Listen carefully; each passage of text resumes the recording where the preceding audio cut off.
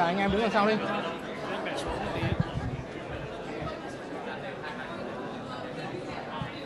Dàn đều đứng hai hàng. Anh em mình đứng dội sang bên này đi. Đi sang bên này. Anh uh, vịnh sang bên này đi.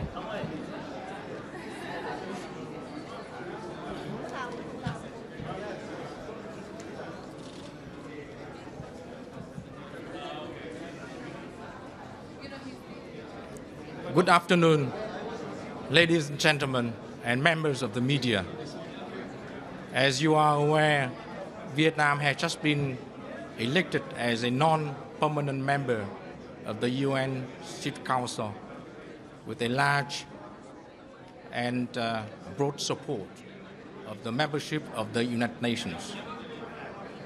First of all, I'd like to extend our high appreciation and uh, our gratitude to all the membership of the UN for their precious and very kind support.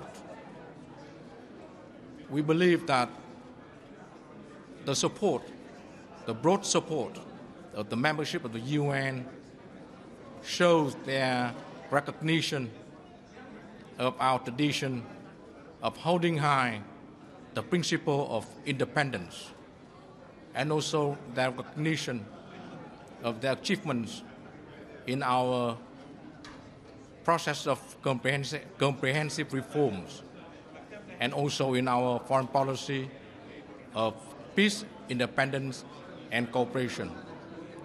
It also shows the confidence in our constructive role, the role that we hope to continue to play at international forums, including at the UN. At the UN, as a new member, non permanent member of the Council, we are committed to the values, to the purposes and principles of the UN Charter. We will try our best to broaden the partnership and work with all partners, those that are members of the Council and also members of the UN. We would try our best to work with all members of the Council and the membership of the UN on, on issues or, or on the items of the agenda of the UN to deal with both the traditional challenges to security and also the new non traditional ones. But of course, we need to work together to prevent war, conflict, and we try our best to resolve the ongoing ones. And we would try our best to defend and protect the civilians, especially those, the women and children on the ground. Of course, we would work with the other members of the council to try our best to work on the current items on the agenda of the council.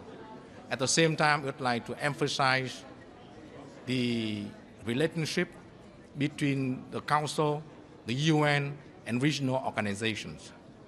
ASEAN, for example, is a, an excellent uh, example of a successful regional organization. Secondly, as Vietnam went through decades of war, we hope that we can bring to the Council the experience of Vietnam, the country that has been able to rebuild the country after the war and deal with many other issues after the war, including uh, landmines. Thirdly, we hope that we could also promote the interests and also the role of women and children in the prevention of war and in the building of peace. Finally, we also hope that together with other members of the Council and the membership of the UN, we can also enhance the effectiveness of the Council. Again, I'd like to on behalf of the government and people of Vietnam, thank the entire membership of the UN for their kind and valuable support, and thank you very much for your kind attention. Thank you very much. Yes. So I think that uh, we are not going to have questions for this one, right? On what Vietnam will bring to the table. You played a crucial role in the summit regarding North Korea, and you are going to be on the council. What fresh ideas do you bring? Uh, regarding what summit? Yeah, North Korea. So we, uh, as you are aware, uh, we have uh, our policy is to promote peace, and also to our policy is for nuclear non-proliferation. So I think that that policy is also the policy of the international community. We have good relations with uh, both the U.S. and the DPRK. We also have uh, experience in our process of normalization and promotion of relations with the U.S. And also we have the uh, experience uh, in uh, economic reforms. So we hope that we can share with uh, our partners in the council and those that might be interested in working together with Vietnam to promote peace and also the to deal with the issues uh, on the uh, peninsula in the interest of uh, in the legitimate interests of uh, all uh, parties involved and also in the interest of the region and the international community. Thank you very much. Thank you, Thank you for your attention. Yes.